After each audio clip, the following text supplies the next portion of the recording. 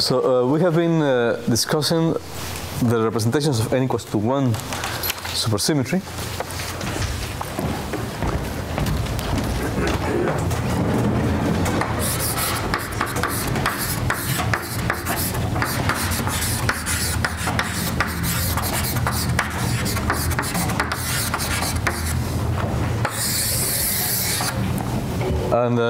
To recall is that uh, when we were doing that for the standard non-supersymmetric case for the Poincare group, well, we the representations of the Poincare group were what we know as uh, elementary particles, but classified by different spins or helicities.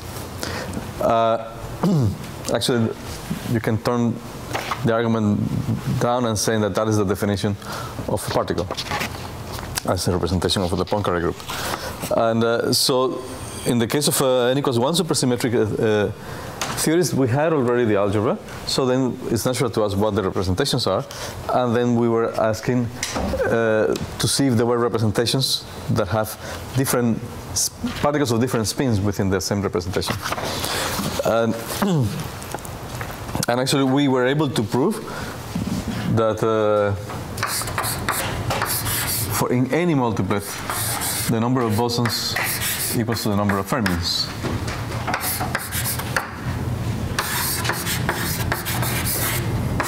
Will call that super supermultiplet.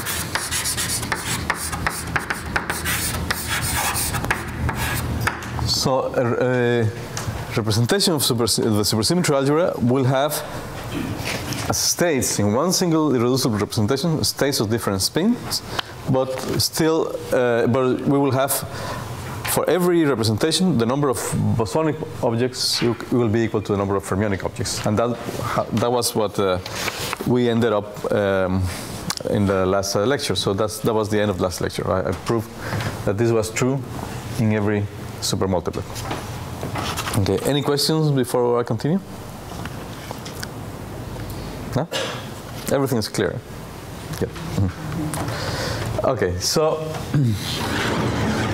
Today I will be more explicit and I will try to build the, the representations for you.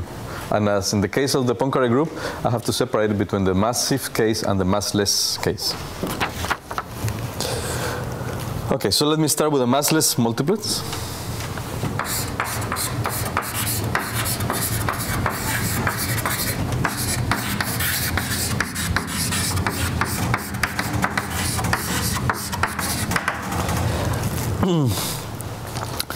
For uh, this, we, as, uh, as in the case of the of the representations of the Poincare group, I will choose uh, momentum, which is uh, the, the center of mass kind of a momentum for the particle, for which since we have to have p mu p mu equal to zero because the mass is zero, so then we have to have the zero entrance equals to the one of the special ones, the third entrance to be equal, and then that guarantees that p mu p mu equals to zero, so the mass is zero. So for this, we have so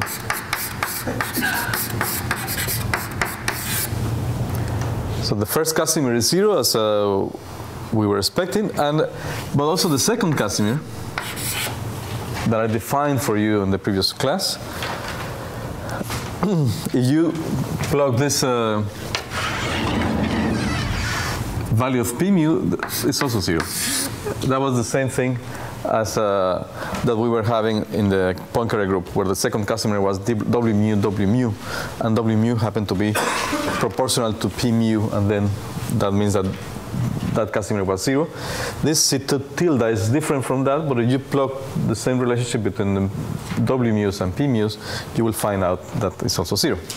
So again, the representation is labeled by two zeros, which is not very uh, enlightening, but then what the, uh, the, the states on the representation are also labeled, are only labeled by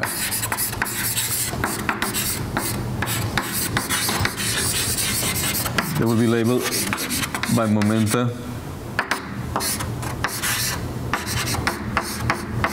and helicity, as we had for the Poincare group. The, the difference is that we, we can have different helicities in one uh, multiplet. But that's what we'll see now. Okay, but at least we will not write the two zeros that will label the representation itself.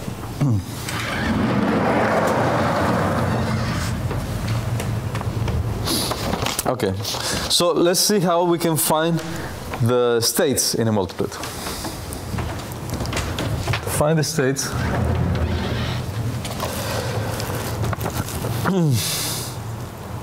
let's start with the algebra.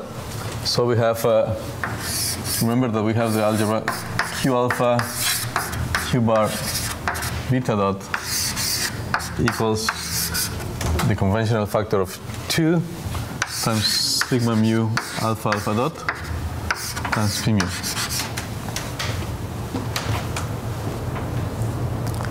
And since we know the value of p mu, p mu is E00E, and the sigmas, we know what they are. So that means that this is 2 times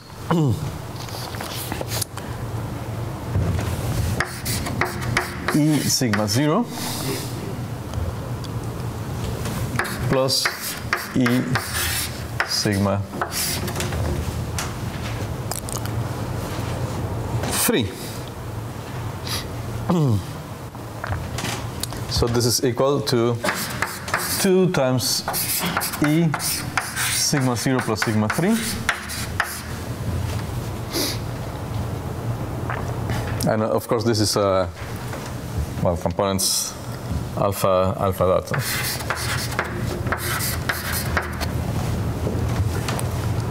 But sigma 0 we know is the identity in two dimensions, and sigma 3 we know is the, the diagonal 1 minus 1 matrix in, in, in, two dimensions. So we know that sigma 0 plus sigma 3 is a matrix which is, uh,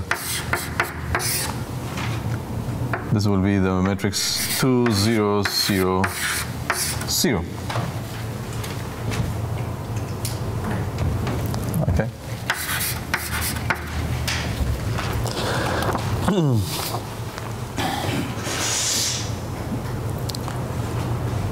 okay. And uh, of course, the 2 I can absorb it here. So there will be 4e times 1000 alpha alpha dot.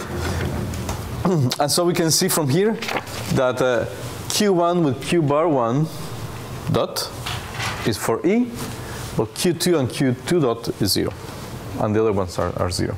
Okay, so that's, that's for this uh, representation, that's what we have. So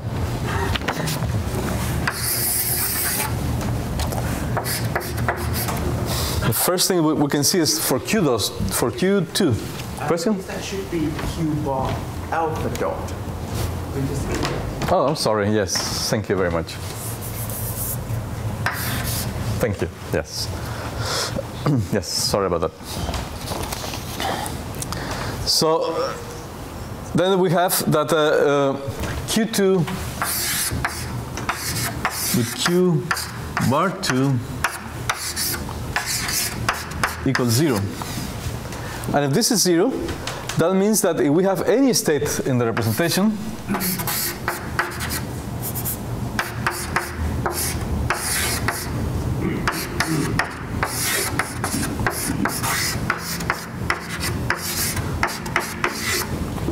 that will be 0. And if this is 0, that means that we can have, this is like the modulus of a, of a, of a state. So that means that Q2 equals 0 in the representation.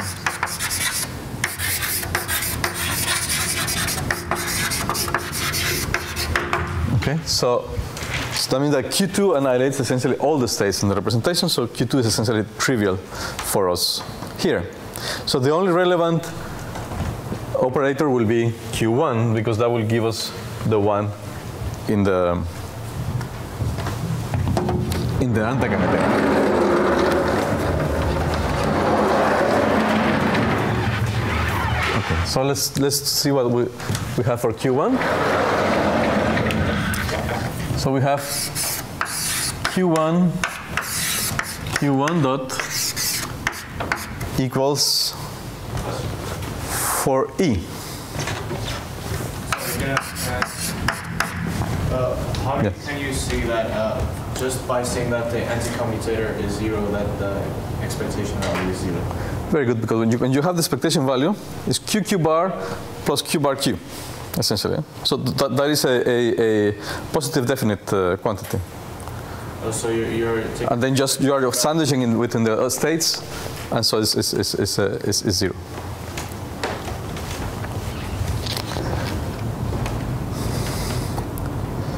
Okay, so Q1, Q1 dot is for E, and uh, that means that we can define, so can define now A to be Q1, sure, yes, Q1 over 2 root E, and A dagger to be Q1 bar over 2 root E. And uh, then the algebra of Q and, and of A and A dagger will be such that um, A, A dagger equals to 1 because we absorb the factor of 2 root e in both. And this algebra you have seen in the past when you were children. so, so you knew what it is. And this is the algebra of, of the creation and annihilation operators so for, for fermionic operators. So, and of course we will have AA equals a dagger, a dagger equal to zero. So that means that a, a dagger are creation and annihilation operators.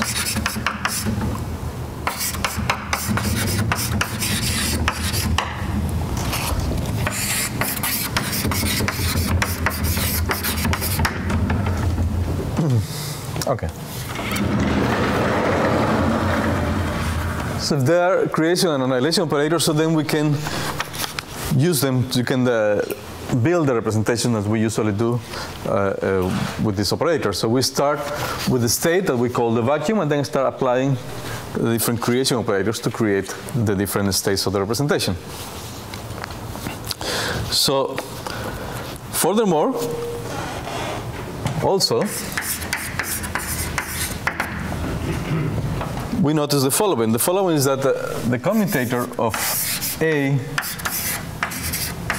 with the J3 generator of the Lorentz group,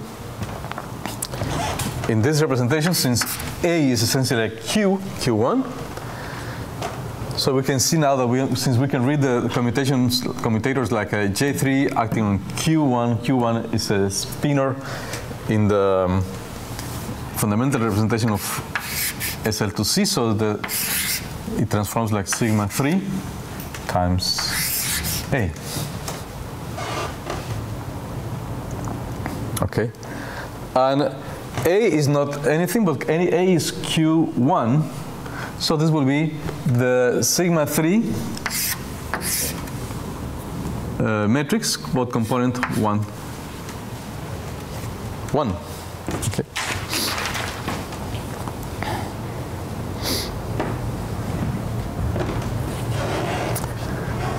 Okay, so so th this is essentially what we, we have from the algebra, it's knowing that a, the q's are, are spinors, as we saw in the previous lectures. okay, so that means that if I take the following, I take J3 acting on the state P lambda. this will be equal to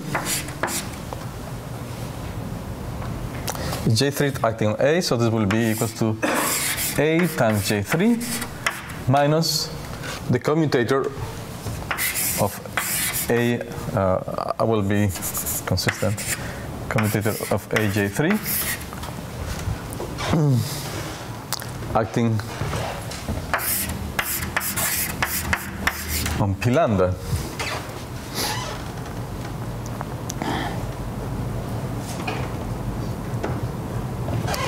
And this is equal to aj3 minus the commutator. We know that it's this. So it's 1 half sigma 3 1 1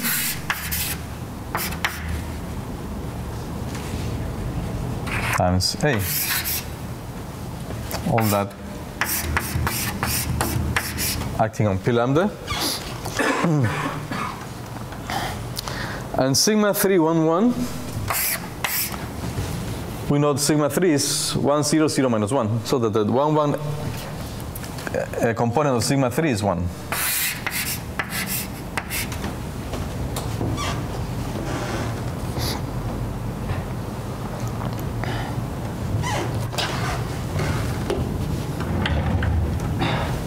So now, now we can factor out the A because J3 acting on P lambda will give me J3 acting on, on lambda that will give me the helicity.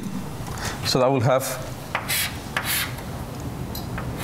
A, J3 acting on lambda is the helicity, lambda minus a half. On P lambda. Or so since these are just numbers, so I can just write it better like this.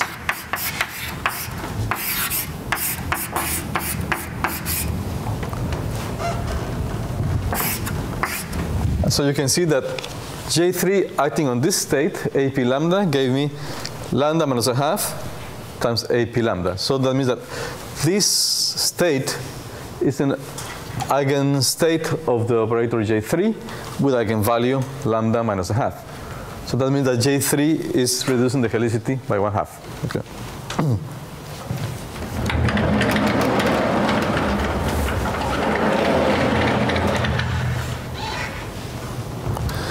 Good. So now we have all the information to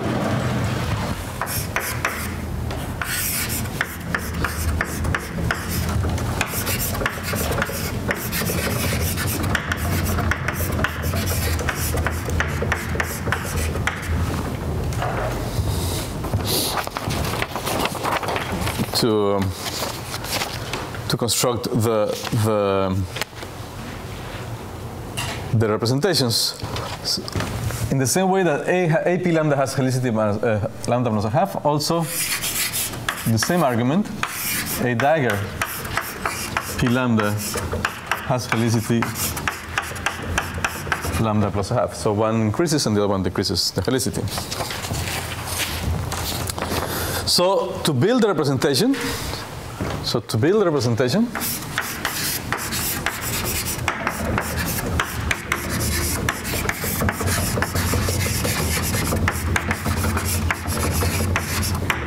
we start with one state that I call the vacuum.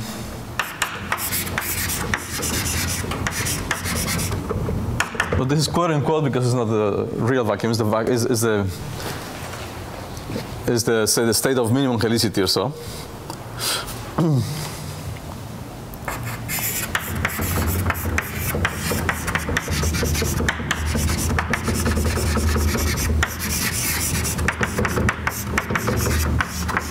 state of minimum helicity lambda, and uh, so I call it I call it capital omega. So that will be a state p lambda. okay. So start, that's my starting point, and then what I will do is start acting with the creation operators, with the A dagger, to, to build up the, the rest of the representation. I act A, A dagger on omega, and then we know that will give me an operator, a state with helicity uh, lambda plus half, and so on.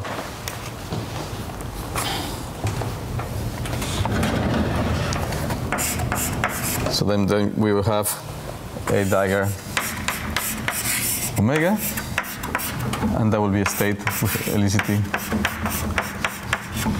plus a half. and then what we will do next, it will have a dagger, a dagger acting on omega, to to start building uh, building up states with higher helicity. But A dagger, A dagger, since they anti-commute, this is zero. Okay. So that means that this is the whole multiplet.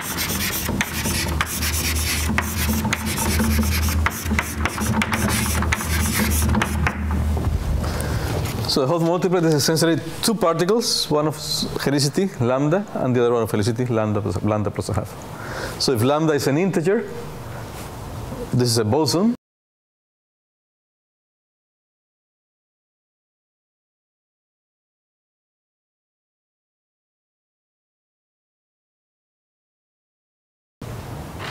And then you have the same number of bosons and fermions.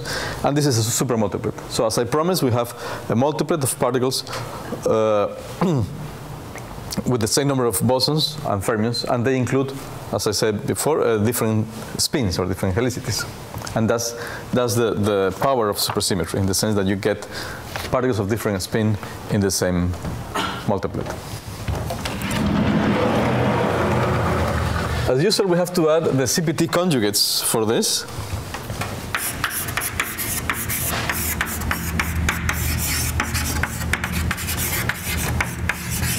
So that means that we have P plus or minus lambda and P plus or minus lambda plus a half. And this will be our massless our massless um, supermultiplet.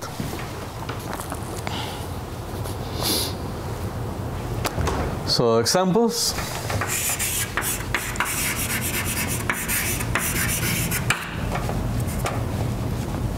We start lambda equals to zero. That means that we will have that we will have a scalar and a fermion. So that's the basic multiplet when you have a scalar and a fermion. A spin one half fermion. and uh, so it is so basic, it, it, needs to have a name, and uh, it's usually called the chiral multiplet.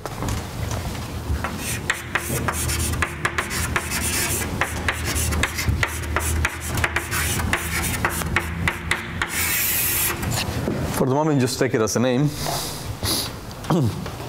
it's essentially that it has a chiral fermion with a scalar, so it's, it's a chiral multiplet.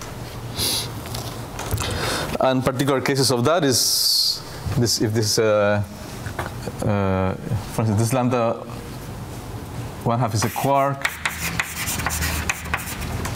then the corresponding partner will be a supersymmetric quark or squark. The same thing if it is a lepton,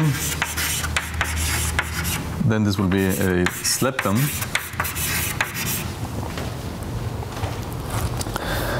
And if the scalar is a Higgs,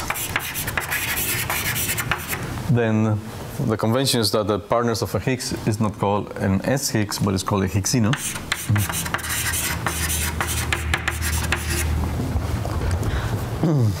Just a name. You may guess that it was an Italian who, who invented it. Oh, I don't know. uh, I think it was inspired by the neutrino. And uh, that's it. So that, that's, that's the chiral multiplet. Then for lambda equals to half, we will have a fermion, a spin one half fermion, plus a spin one boson. And since it has a boson here of a spin one, a spin one are the, the standard uh, gauge multiplets, the gauge particles. So this is usually called a vector or gauge multiplet.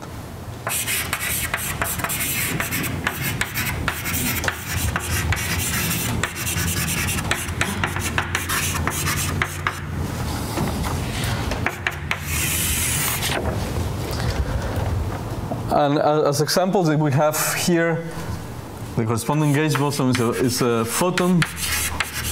The partner is called a photino.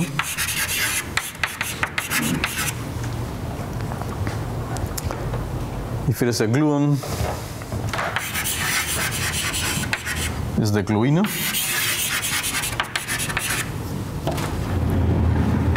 And if it is a W particle, it's called the, it's pronounced wino. Because other pronunciations don't look very nice. And um, if it is the Z, it's zino. okay. And uh, so that is for lambda equals to 1 half. For this we can add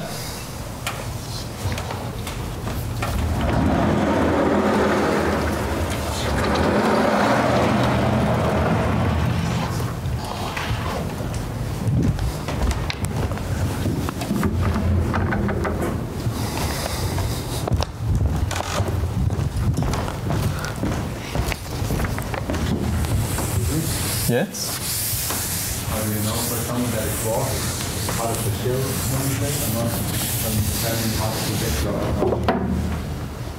Yes, that's a good question. Who asked the question? Yeah. Yes. How do we know that the quark is a member of a scalar multiplet but not of a of a vector multiplet? Because in both cases you have particles of uh, uh, lambda equals to one half. You have fermions with the sp- spin one half. That you can see directly from the representation it comes, because the quarks comes in the fundamental representations of the SU3 group, so they are triplets, whereas the gauge bosons they come in the adjoint representation. So you cannot, just a group theory will not uh, allow you to be the, the quark as a partner of, of, a, of a gluon, for instance, because there are two completely different representations of the, of the, of the gauge group. So that, that, that I think is it. So that's what, they are usually in the chiral multiplets. And usually uh, the name that is given here, you will see in general, for this is the gauge boson, and so this is called the gaugino. So all of these are gauginos, and this is gauge. So, so in general, these are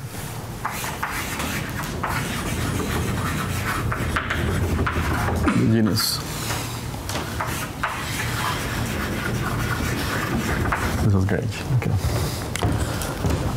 Okay, I will skip, and I, I will say later why the next case, which will be lambda equals to one.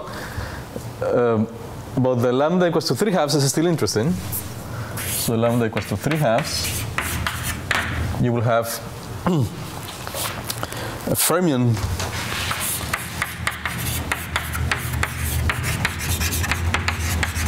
and a, a lambda equals to 2 boson. So we'll have helicity 2 object, and a helicity 2 object is precisely what we identify as the graviton. So this will be the graviton. And then this object will be the partner of the graviton, so it's called the, the gravitino. Okay. Um, you can see it's a feature of n equals to 1 that the graviton has only one partner, the gravitino. But for extended supersymmetry, we will see that will, there will be as many gravitinos as, as supersymmetries we have.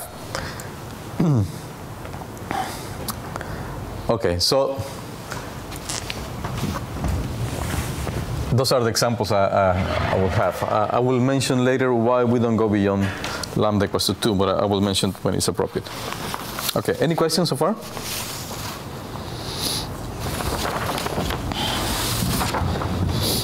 Hmm, okay. So, Wasn't there, sorry. Uh, yes.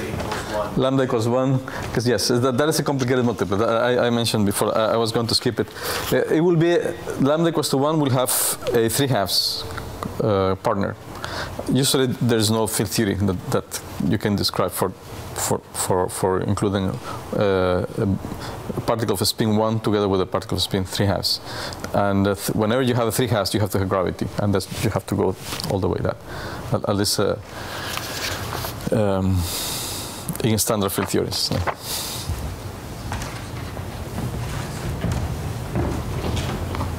Okay, so that was the massless multiplet, which was easy.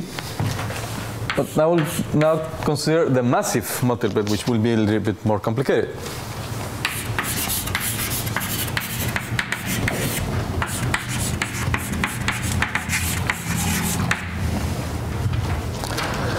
And for the massive multiplet, we have the standard. We have we, we go to the center of mass of the particle, so that means that the, the momentum is just uh, m000. And we will play the same game. Now, substituting, substituting this uh, momentum, we plug this in the supersymmetry algebra and see what kind of algebra the Q and Q bar satisfy. Uh, but uh, the first thing we have to do is that the, the, um, the Casimirs C1, of course, is a p mu p mu is m squared. So now the label is uh, non-trivial, but also the C2 tilde uh, is also different from zero. And it happens to be, in this case, 2 m to the 4 y i y i, where y i is a super spin y i is just given by ji minus 1 over 4n q bar sigma q i and it's equal to bi over n, which were bi I defined in the previous lectures. The nice thing about this defining these yi's is that they are the angular momentum generators plus something else. However, the algebra that this uh, algebra that these objects satisfy, they satisfy the same algebra as the j's. So it's i epsilon i j k y k. And since they satisfy the same algebra, we know already that the representations will be labeled by eigenvalues of the operator y square, which is the Casimir operator of this uh, um, of this um, representation. And y squared is precisely this object here. Okay, so so eigenvalues of y squared will be equals to say y times y plus 1, etc. So it inherits the properties of the angular momentum generators. So we know now that, uh, that a representation will be labeled by a mass and a superspin, where the superspin can take these values, y to y plus 1 as a standard representations of the rotation group. However, it is not spin. It's not spin because you have this extra piece here. And then we can have, as we will see, we will have again particles of different spin within one representation. So for a given value of y, we will have different uh, values of j's.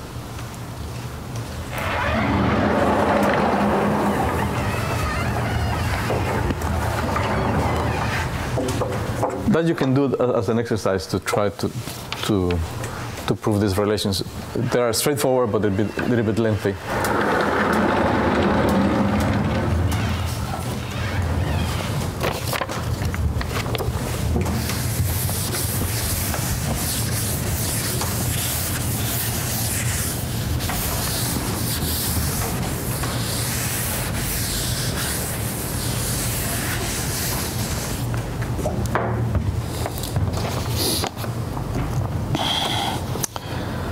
Okay, so multiplet. Uh, okay, so I will write. So for multiplet,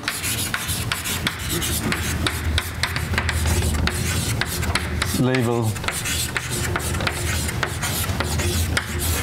by mass and this superspin number. okay. So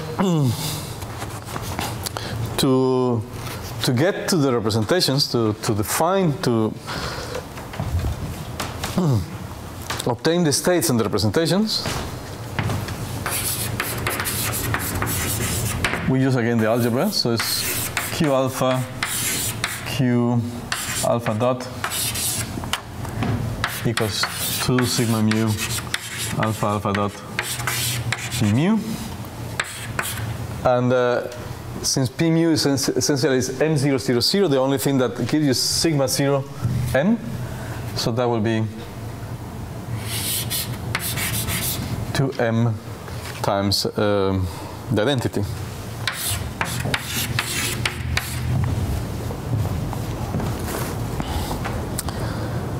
Okay, so we have a similar situation that we had before, but before we had uh, here 1 and 0, and now we have 1 and 1. But that means that we have to do what we did for the Q1s before, but now we'll do it for Q1 and Q2. Okay, so that's, that's, that's the only thing. So we have two sets of creation and annihilation operators. So we will define A12 to be 1 over square root of 2m Q12, and then A12 dagger to be 1 over square root of 2m Q bar 1 bar 2 bar.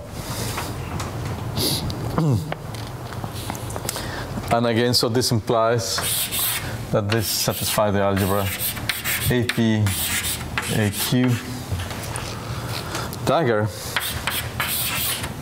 equals to delta PQ.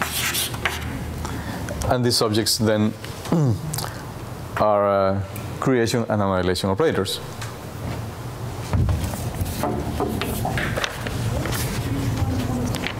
Excuse me? Q1, comma 2. So instead of writing A1 equals to this times Q1 and A2 equals to this times Q2, so I do the same for 1 and 2 at the same time.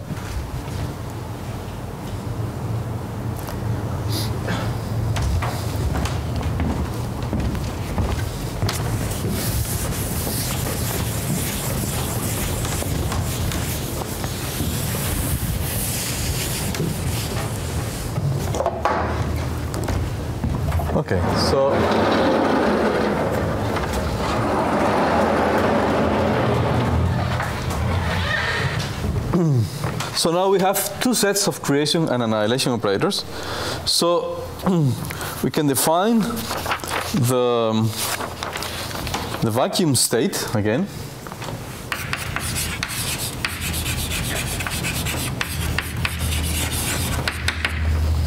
Which I, I call um, omega such that a p acting on omega equals to zero is annihilated by annihilation operator and then we build up um, the rest of the multiplet from it so omega will be a state which will be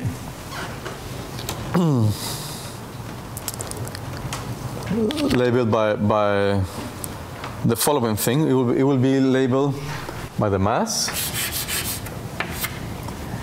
And uh, I hope I haven't erased the phrase oh y, yes. Look at y is j minus this object. Okay. I'm using omega to be annihilated by the a's, so it will be annihilated by the q. So q, this acting on omega, this part will be zero. So essentially for omega, the spin and the superspin are the same.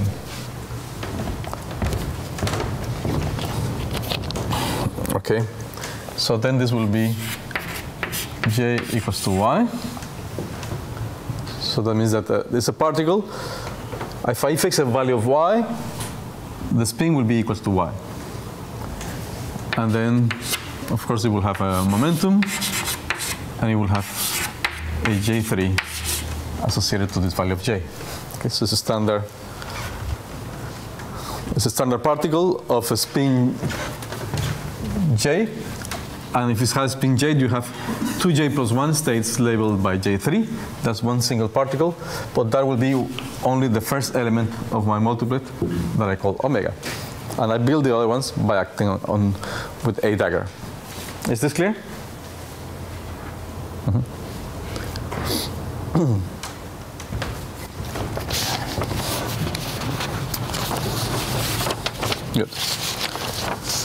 So the rest for the rest of the multiplet,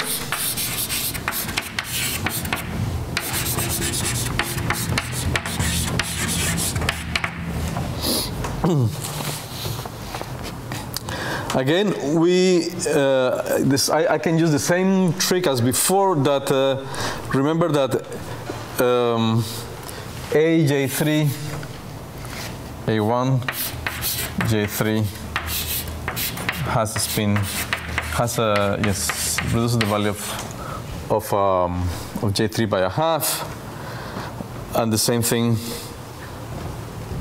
Then uh, A1 dagger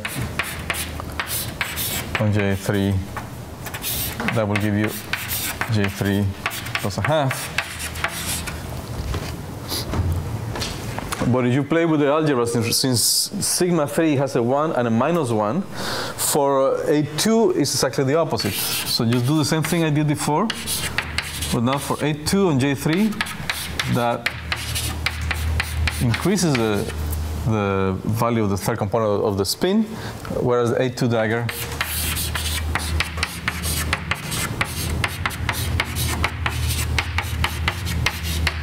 decreases it. Okay, so this is due to the fact that uh, the representation sigma 3 is a 1 and minus 1. So, so it's a 1 in the first entry and for the A1, so that, that the, all the tricks we did uh, in the previous proof that I just erased uh, were for this case. Now for this case, it's the same trick, but you have to use the, the minus 1 in sigma 3, so that, that there's a change of sign, and that's what you get plus and minus there. Okay, so that means that if I um, act on uh, omega by A2 dagger,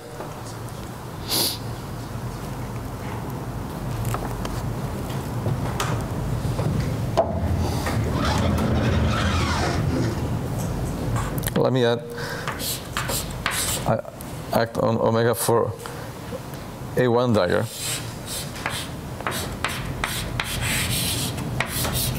A1 dagger acting on omega, it will be adding uh, J3 to J3 plus 1 half. So it will have as follows. It will be something as follows. So uh, just, just bear with me. So it will be K1 M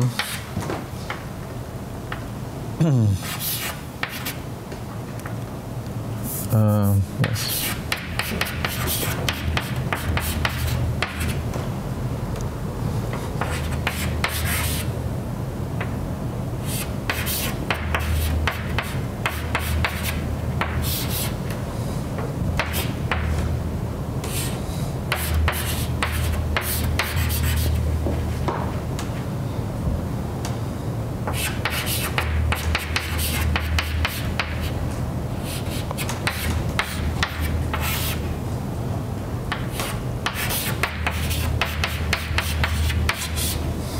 Okay, let me see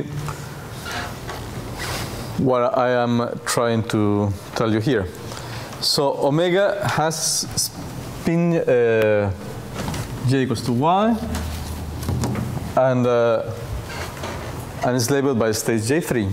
When when I, I act a, a1 dagger on omega, I know that a1 dagger will increase the third component of of the spin by one half. Okay, so that will, that will have a J3 plus a half here or J3 plus a half. However, that can come by raising the spin by a half or by lowering it, the J by a half. Okay. So that both will give us components of J3 plus or minus a half. I'm assuming here so far that, that we don't have y, that y is different from zero. So you, you start with something different from zero. So you can subtract one half. Okay, and this K1 and K2 are nothing else but the Clebsch-Gordan coefficients. So you have a, uh, you can see that as a representation again.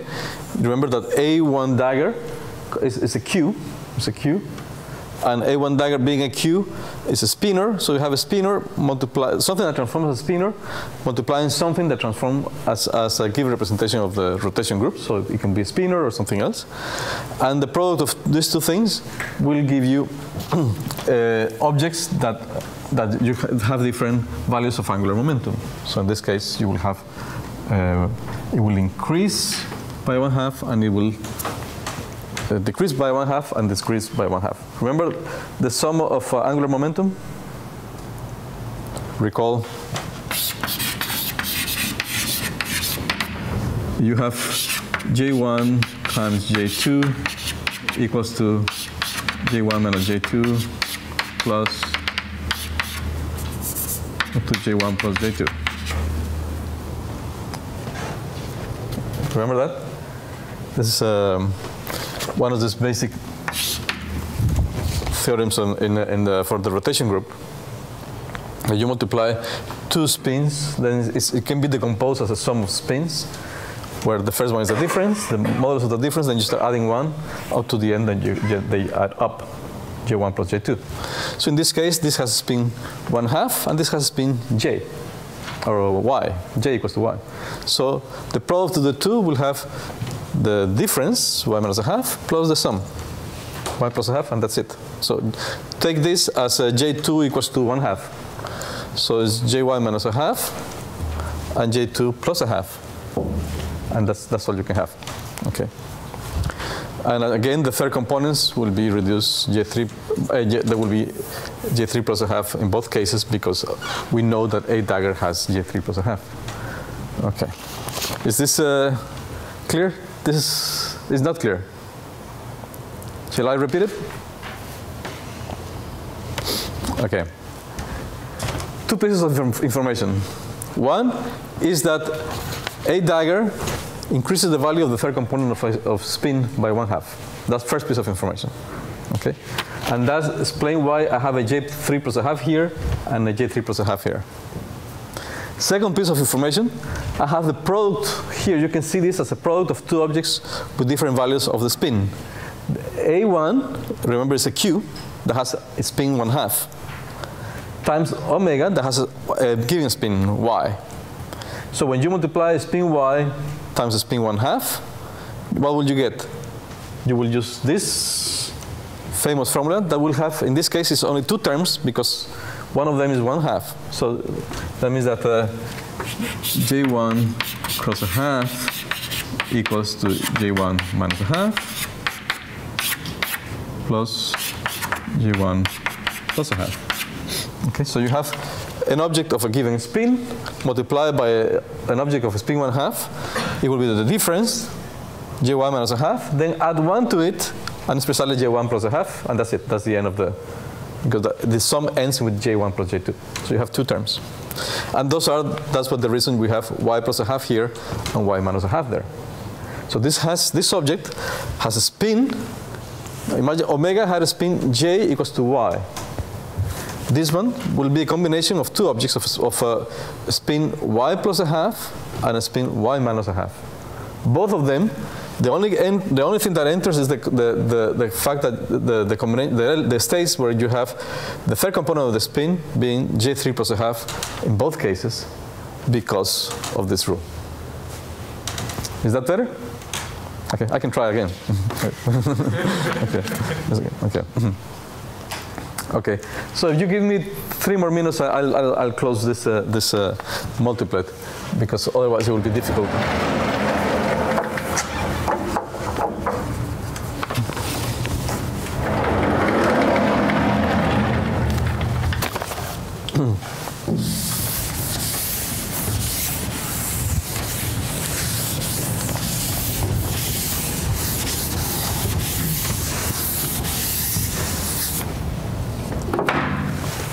So as I say, K, uh, first K1 and K2 are Clebsch-Gordan coefficients.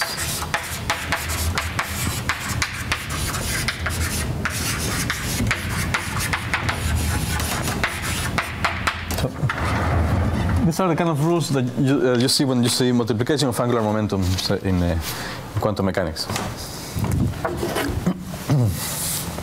Okay, so I did that with A1 dagger, A1 dagger acting on omega. The same thing I will do with A2 dagger acting on omega. And then that will be similar kind of objects, but now I have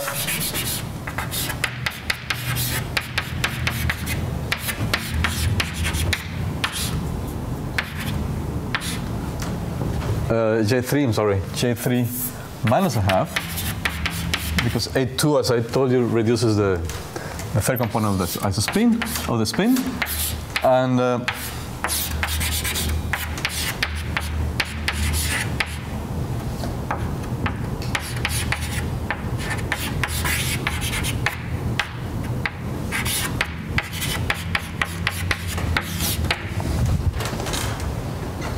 Okay. Uh, minus, sorry.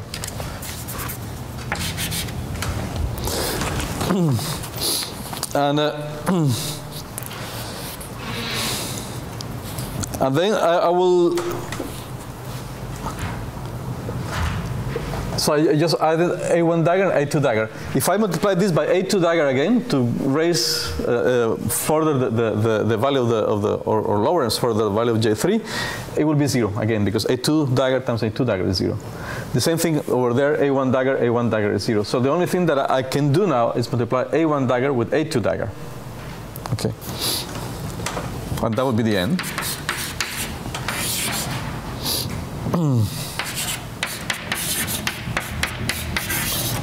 But this will be equal to minus itself because it's, it's a, uh, these are anti-commuting objects.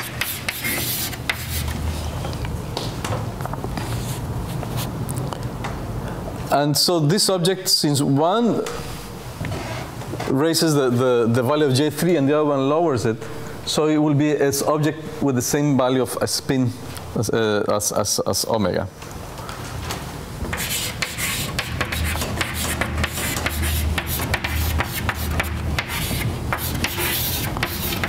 of, of J3. Okay? so, in total, we will have two states of the type M, Y, P, mu, and J3. One state on the form um,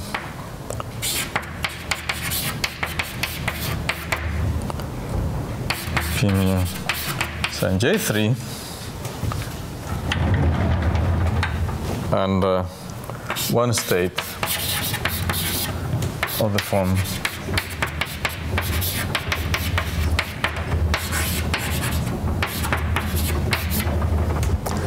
and uh, so you will see that if these are if these are uh, uh, bosons, this will be two bosons and two fermions.